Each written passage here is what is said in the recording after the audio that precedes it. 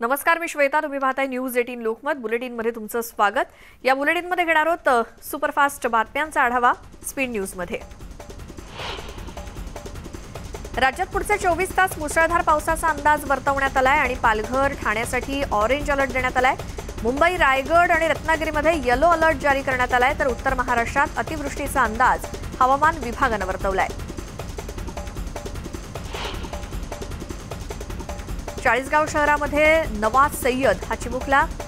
तितूर नदीकिनारी उभ्या असलेल्या एका ट्रकमध्ये सोमवारी रात्री झोपी केला मात्र मंगळवारी पहाटे नदीला महापूर आला. त्यात तो अडकला. हे बघताच दोन तरुणांनी दोरीच्या साह्यानं त्याला बाहेर काढण्याचे प्रयत्न सुरू केले. यातील एकानं अक्षरशः स्वतःचा जीव धोक्यात घालून नवाजला सुखरूपपणे पाण्यातून बाहेर काढलं.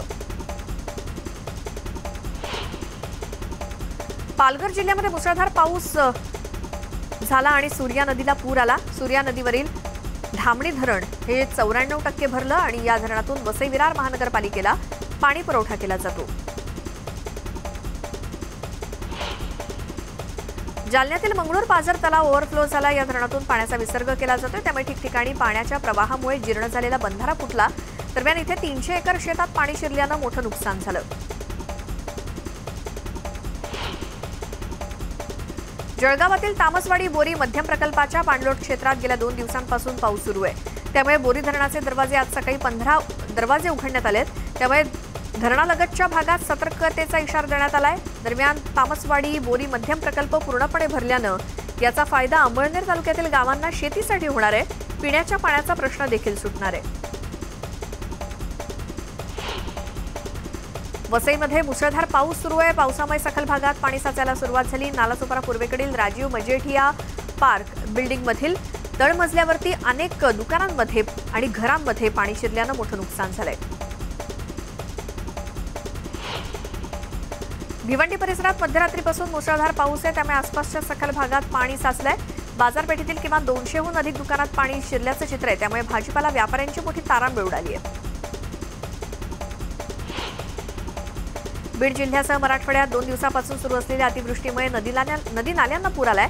शेतीतील पिकासोबतच ग्रामीण भागातील रस्ते वाहून गेलेत पूल खचलेत. वाढत्या पाण्यामुळे काही गावांचा संपर्क तुटला आहे तर काही ठिकाणी पुलावरून पाणी वाहत आहे त्यामुळे वाहतूक विस्कळीत झाली आहे. शेतीबरोबरच जिल्ह्यातील रस्ते आणि रस्त्यांवरील पुलाचं मोठं नुकसान झालंय. बीड तालुक्यातील पिंपळनेर नाथापूर तालुक्या रस्त्यावरील पूल वाहून गेल्यामुळे दहा ते बारा गावांची वाहतूक विस्कळीत झाली आहे.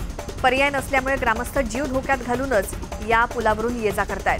त्याचसोबत चांदवड मुगाव गावाला जोडणारा रस्ता आणि यावरील पूल वाहून गेल्यानं दोन्ही गावांमधील संपर्क तुटलाय. त्यामुळे ग्रामीण भागातील नागरिकांना जाण्या येण्यासाठी त्रास सहन करावा लागतोय.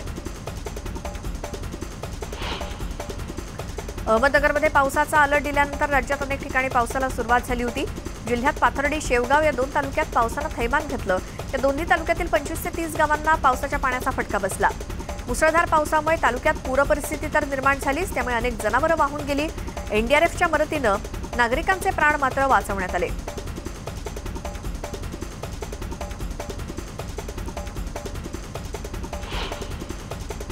अहमदनगर जिल्ह्यातील पाथर्डी आणि शेवगाव या दोन तालुक्यांच्या हद्दीवरील नांदडी नदीला पूर आल्यानं पाथर्डी तालुक्यातील नदीकाठावरील गावांमध्ये पूरसदृश्य परिस्थिती निर्माण झाली. अनेक घरं पाण्याखाली गेली.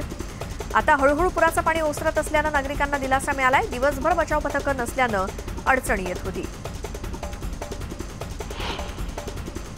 मुंबईच्या जुहू किनारपट्टीवर तेलाचा घट्ट गोळीवजा थर वाहून आलाय. तवंग हटवण्याचं काम पालिकेकडून सुरू आहे.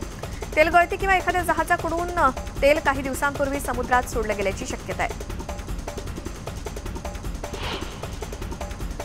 आज राज्य मंत्रिमंडळाची बैठक आहे. त्यात नाईट कर्फ्यू आणि गणेशोत्सवाच्या पार्श्वभूमीवर सरकार निर्णय घेण्याची शक्यता आहे. त्यामुळे या बैठकीकडे सर्वांचंच लक्ष आहे.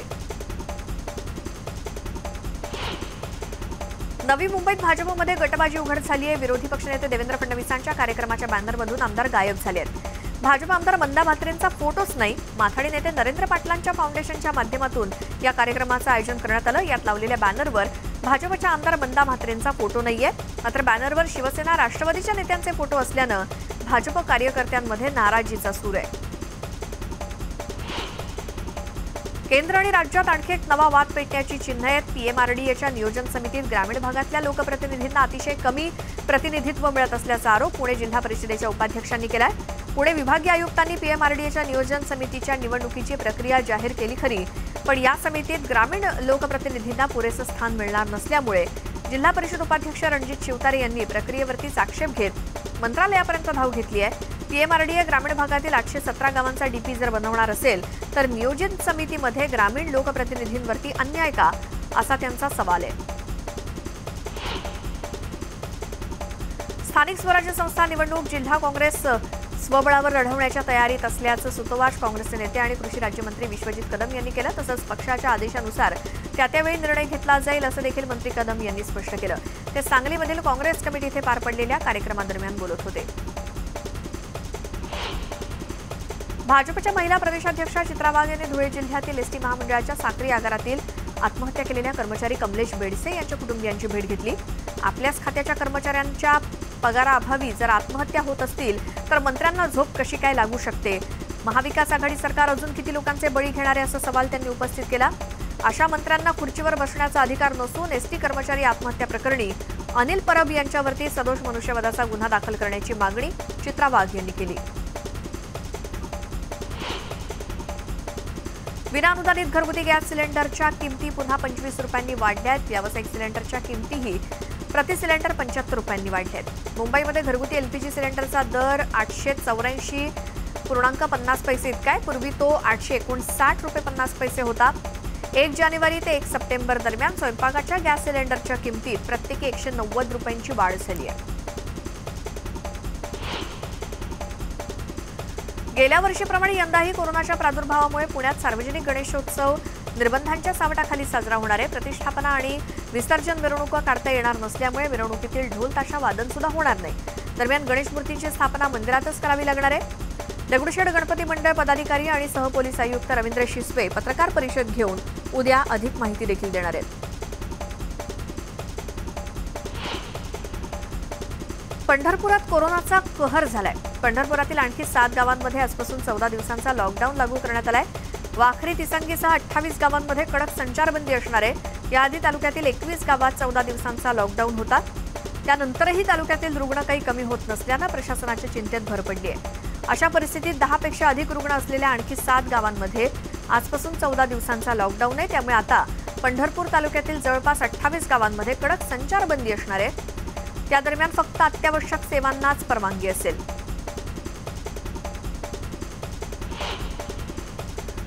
मंदिरं बंद असल्यानं त्यावर अवलंबून असलेल्या किरकोळ व्यावसायिकांवरती उपासमारीची वेळ आली. मनमाडमध्ये ही मंदिरं त्वरित खुली करावीत या मागणीसाठी मनसेनं निदर्शनं केली. मनीष डांगेंच्या नेतृत्वाखाली वाशिम शहरातील मध्यमेश्वर मंदिराबाहेर निदर्शनं करण्यात आली. इंडिया सिक्युरिटी आणि करन्सीच्या प्रेसमधील काम पुन्हा सुरू झालंय. रात्री अकरापासून नोटांच्या छपाईला सुरुवात झाली. मात्र आश्वासनांची पूर्तता होईपर्यंत आंदोलन सुरू ठेवण्यावर कर्मचारी ठाम आहेत.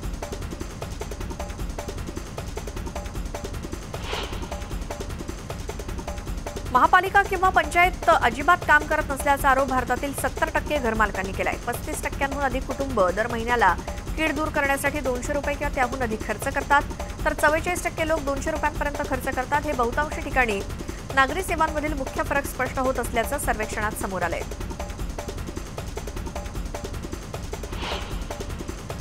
वाशिम जिल्ह्यातील रिसोड नगर परिषदेचे अपक्ष नगरसेवक पवन चित्तरका यांच्यावर एका युवकानं जीवघेणा हल्ला केला.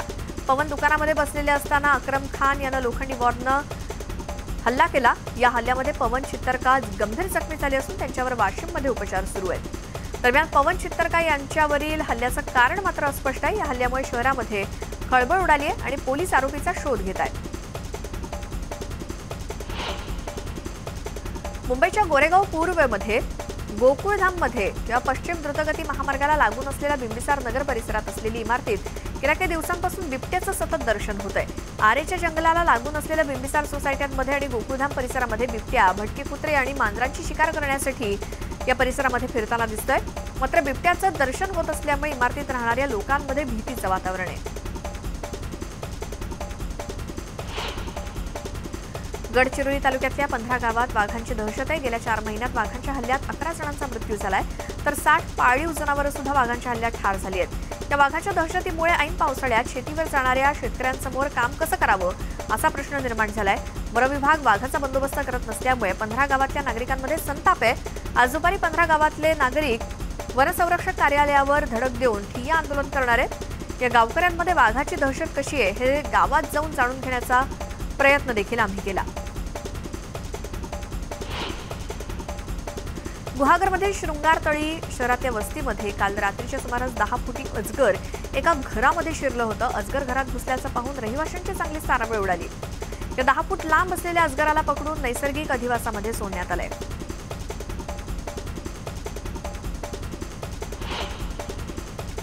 मध्य रेल्वेवरील पाचव्या सहाव्या मार्गिकेतील अडथळे दूर करण्यासाठी चुनाभट्टी ते टिळक नगर दरम्यान उन्नत मार्ग उभारण्यात येणार आहे. या प्रकल्पाला गती मिळते त्याचबरोबर हार्बरवरील कुर्ला स्थानक सुद्धा उन्नत केलं जाणार आहे या प्रकल्पाचं काम.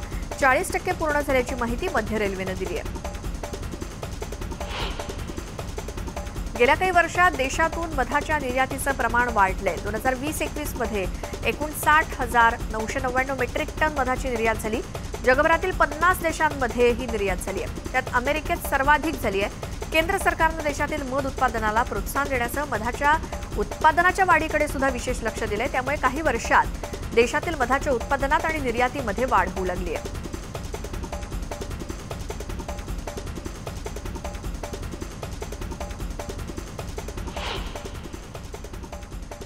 आणि आता पाहूयात आताच्या टॉप थ्री न्यूज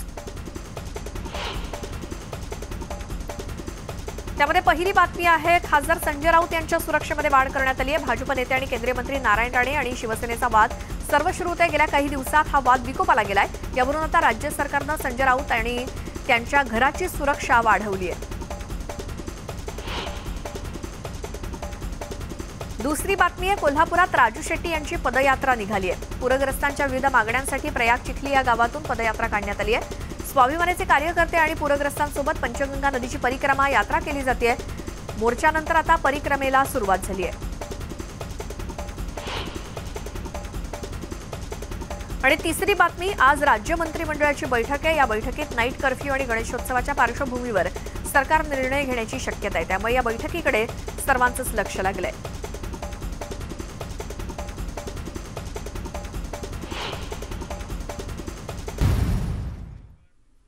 ब्रेकनंतर तुमचं स्वागत. पुन्हा पाहूया स्पीड न्यूज. कोरोना संक्रमणाची तिसरी लाट रोखण्यासाठी किंवा त्याचा परिणाम कमीत कमी व्हावा यासाठी संभाव्य प्रयत्न सरकारकडून केले जात आहेत असं अर्थमंत्री निर्मला सीतारामन यांनी सांगितलं आणि कोरोनाच्या पार्श्वभूमीवर देशाची आरोग्य व्यवस्था मजबूत करण्याची आवश्यकता आहे. याचाच एक भाग म्हणून देशात कोरोना लसीकरणाचा वेग वाढवण्यावरती भर दिला जात असून लहान आणि मध्यम दर्जाच्या शहरांमध्ये रुग्णालयांची क्षमता वाढवण्याची गरज अर्थमंत्र्यांनी व्यक्त केली. देशात मंगळवारी नवा लसीचा विक्रमच नोंदवण्यात आला. या लसीकरणाचा विक्रम झाला. दिवसभरात देशामध्ये सव्वा कोटींहून अधिक नागरिकांचं लसीकरण झालं. कोरोना प्रतिबंधात्मक लसीकरण मोहिमेला वेग आलाय आणि देशात मंगळवारी एक कोटी पंचवीस लाखांहून अधिक नागरिकांना लस मिळाली. गेल्या पाच दिवसात दुसऱ्यांदा एक कोटीपेक्षा अधिक लसीकरण झालंय. देशात आतापर्यंत कोरोना प्रतिबंधात्मक लसीच्या पासष्ट कोटींहून अधिक लस मात्रा देण्यात आल्या आहेत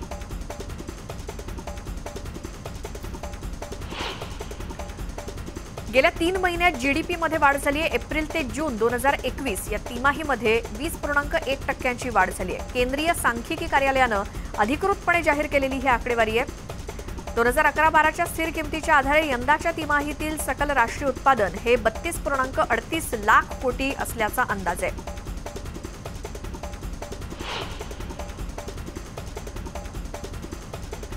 दिल्लीमध्ये आजपासून ऑफलाईन शाळा सुरू झाली आहे. नववी ते बारावीच्या विद्यार्थ्यांचे प्रत्यक्ष वर्ग भरवले जात असून कोरोना नियमांचं पालन करत विद्यार्थ्यांचा वर्गामध्ये प्रवेश होतोय. शाळा प्रशासन काळजी घेण्याचं आवाहन करते.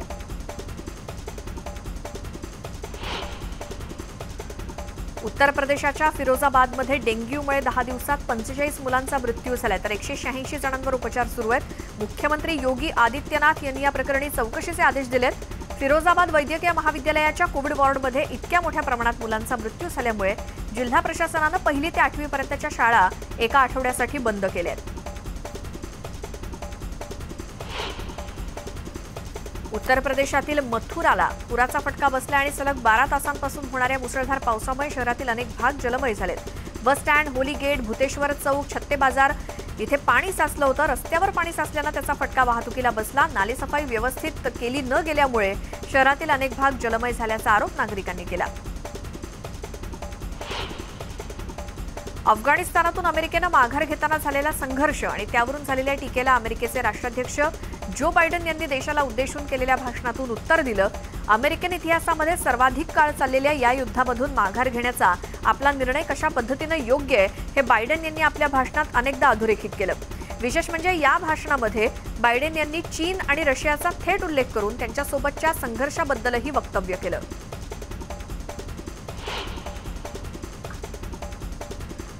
स्थानिक T twenty league I P एलसाठी BCCI मोठी तयारी करत आहे पुढील सीझनपासून आय पी एल दोन हजार बावीसमध्ये आठ ऐवजी दहा संघ असणार आहेत. बोर्डानं एका संघाची मूळ किंमत सुमारे दोन हजार कोटी रुपये ठेवली आहे. अशा स्थितीत बीसीसीआय या दोन संघांकडून सुमारे पाच हजार कोटी मिळू शक मिळवू शकतं. आणि पुढील हंगामापासून साठ ऐवजी चौऱ्याहत्तर सामने खेळवले जातील.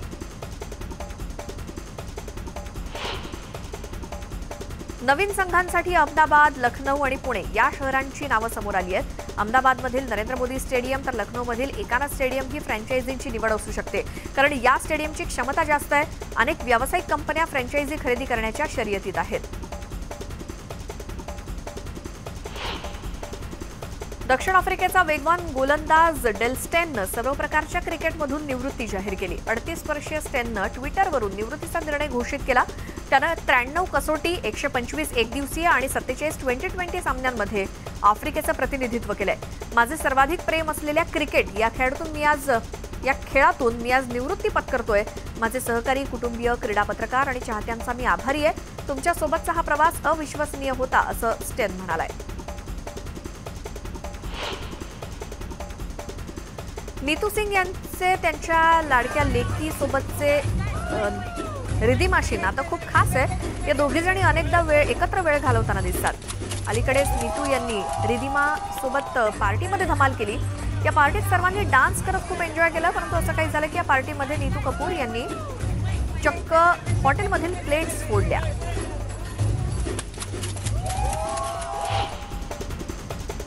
शेरशहा या चित्रपटानं नवा विक्रम केलाय. कॅप्टन विक्रम बत्रा यांच्या जीवनावर आणि युद्धावरती आधारित असलेल्या या चित्रपटानं सुरुवातीच्या पंधरवड्यात यशाच्या शिखराला स्पर्श केलाय. भारतात अमेझॉन प्राईम व्हिडिओवर सर्वाधिक पाहिला गेलेला चित्रपट म्हणून त्यानं विक्रम रचलाय. या व्यतिरिक्त पहिल्या दोन आठवड्यात शेरशाला चार हजार शंभरहून अधिक भारतीय शहरं आणि शहरांमधील प्रेक्षक लाभलेत. Comedian Bharti Singh good news कधी देणार? हा प्रश्न तिला वारंवार विचारला जातो आणि भारती अलीकडेच डान्स दिवाने थ्रीच्या सेटवरती आली होती. यावेळी फोटोग्राफर्सने तिच्यासोबत बऱ्याच गप्पा मारल्या. तिला आम्ही मामा कधी बनणार? असं विचारलं आणि यावर भारतीनं दिलेलं उत्तर ऐकून एकच हशा पिकला.